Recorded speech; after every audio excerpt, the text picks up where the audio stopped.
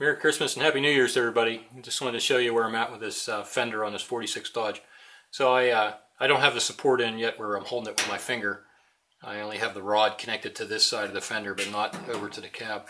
And you can see where I cut it all along here and I have some uh, pieces of quarter inch wood in here. It's a, it's a little slight bit off and then this area here I have to do some body work to get it to blend because it popped whenever I, uh, when I cut it apparently it had a bunch of stress in here and there's a low spot in here so it must have jumped up in the air so I'll have to bend that back.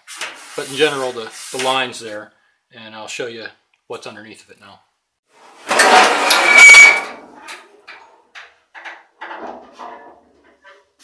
So you can see where I added this eighth inch piece of metal and there's a piece of quarter inch rod that's sort of flush with this. In fact I ended up having it off a little bit so I cut a little bit off of the rod.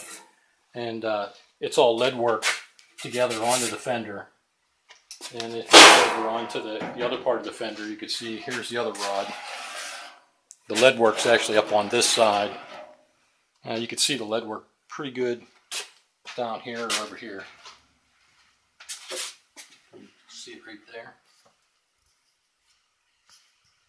So you can see that I leaded that whole entire rod in all the way up and around the whole entire fender. And so now when I lower down on there, it should come close to fitting pretty good.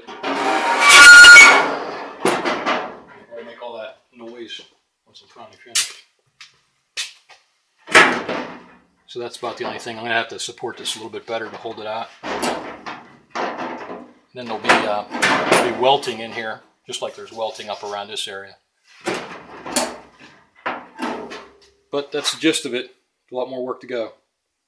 That's it. This is the bottom part of the fender and you can see where all the lead work is and uh, how the wire form was leaded in and how the uh, quarter inch rod and the eighth inch plate were all well or leaded onto there.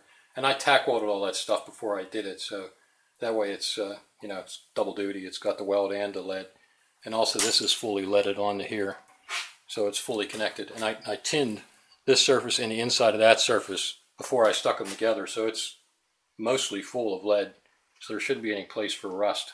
I just got to sandblast this a little better and make sure I get all the flux off of it. That's it.